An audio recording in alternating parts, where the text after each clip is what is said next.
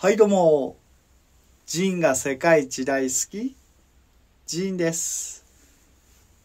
BTS のジンが入隊のために坊主になったってことで話題になってますね。いやついにねこの時がね来たかって感じですけどね。相変わらずね坊主でもねかっこいいなと思いましたね。うん。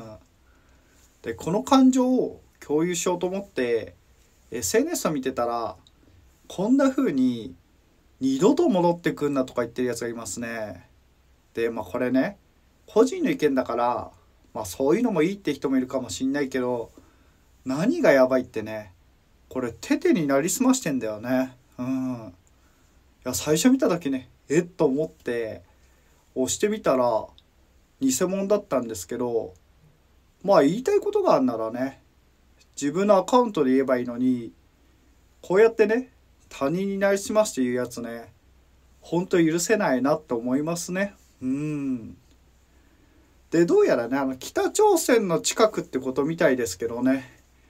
いや是非ねあの健康に気をつけてね頑張ってほしいなって思うしこうやってね批判するやつは許せないなって思います。